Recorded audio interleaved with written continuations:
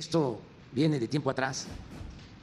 No han surgido eh, bandas eh, importantes, fuertes, eh, influyentes en el tiempo que llevamos nosotros en el gobierno. Las bandas más fuertes, más influyentes, que compraban a las autoridades, surgieron en los pasados gobiernos. Lo digo con todo respeto porque no quiero hacer enojar a nadie.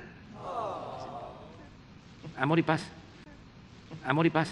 Este, entonces estamos haciendo una labor para seguir pacificando a México y vamos avanzando. Yo y lo mejor, y otros la datos. mejor receta es trabajar todos los días, levantarse temprano, porque los pedacitos de la suerte los reparten como a las 5 de la mañana, Temprano. temprano. Entonces, este, y estar todos los días atendiendo los problemas y garantizándole a la gente la tranquilidad, la paz, que es nuestro trabajo.